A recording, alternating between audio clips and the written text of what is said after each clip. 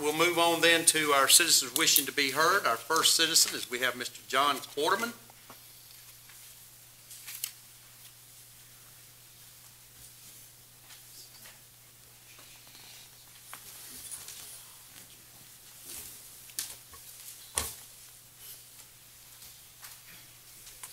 been here in a while.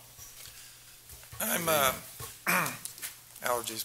John Quarterman, 6565 Quarterman Road, that's where I live. I get my mail at 3338L Country Club Road in Valdosta, 31605. And I'm here as the Suwannee Riverkeeper on behalf of WWALS Watershed Coalition. We get our mail at Post Office Box 88, Hahira, Georgia, 31632.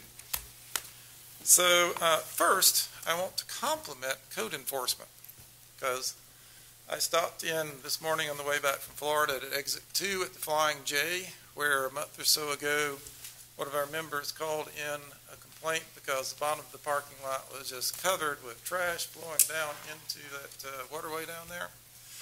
And huge numbers of tires and backhoes full of trash have been taken out, and they're now building back a board fence. So congratulations, code enforcement, for getting something done. Um, the other thing I want to talk about, do you mind if I pass these out? Sure. I'll tell you, if you would, give them to Ms. Dukes and she'll pass them out. I think some of us have a copy of it probably already.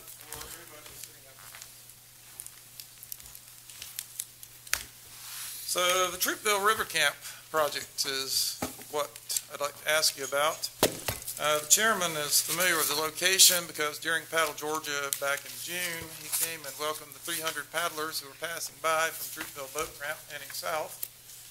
And that's the place that we want to do this. The 74.14 acres from there up towards the boat ramp are privately owned. The owner would like to sell it to turn it into a park. Uh, it's very reasonably priced, about $125,000 for that because it's all floodplain. Okay, so this top thing is a concept plan put together by ASA Engineering Pro Bono. They like this idea so much. The uh, confluence you can see sort of towards the uh, lower left there. And we want to leave that untouched and build a place to take boats out a little bit up the Withlacoochee River. Now, the, the yellow line is a hiking uh, or walking trail. It turns out there's very little to be done for that. It mostly already exists. Next to it, the red is a biking trail, a little more work, not a huge amount. The yellow line is supposed to be an access road to get down to where there needs to be an RV pad for a caretaker because that's a big feature, a live-in caretaker, which will handle much of the maintenance, not all of it, but much of it. Now that also doesn't require much construction because when out going out there uh, last week with ASA Engineering, we discovered the old north-south road of Troupville is basically still there in the woods. So we can use that as the access road. Not much to build. And, you know, we don't need a fancy road, we just need something for occasional use. The river camp itself is to be modeled on the ones on the Suwannee River with uh, hot and cold running water, air conditioning, bathrooms, showers, and five screened-in elevated sleeping platforms. Um, and considering what's been going on at um, on uh, Sugar Creek, it's also relevant that we want to do water quality testing, have a center there for incubation, and uh, Sugar Creek is upstream on the Withlacoochee from this location. The second page indicates the river camp at the center of Withlacoochee and Little River Water Trail, all the way from up above Adel down to the Suwannee River. I talked to the Cook County Commission um, last Monday of last week. They're considering writing a letter of support. Um, as you probably know, Thursday, the city of Valdosta voted to do that.